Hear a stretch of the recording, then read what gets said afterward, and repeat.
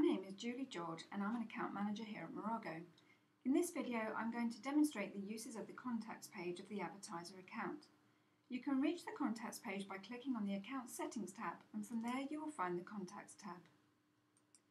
All fields on this page are editable. If you make any changes, select the tick box to confirm the edit is saved. The first section shows you the details of the main contact of the advertiser account. These are generated when the account is first created but can be edited here. All correspondence for the account will, by default, be sent to this contact. The second section stores the account manager details. As a system owner, you are able to enter the details of the account manager that you assign for the advertiser. This way, the advertiser can easily reach their account manager contact details when logged into their account. Account managers also receive internal notification emails such as warnings that the account is due to go offline due to an end timestamp or low funds. This allows the manager to proactively contact the advertiser and chase funds renewals, for example. The third section shows the renewal notification contact details.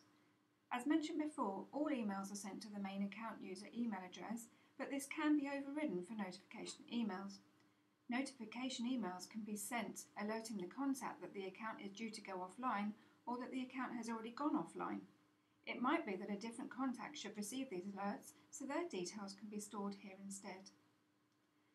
The last section allows the advertiser to register an alternative billing contact name and address for receiving invoices.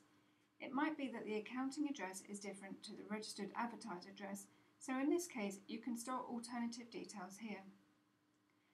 That about sums up the contacts page. If you have any questions, please do contact your Mirago account manager.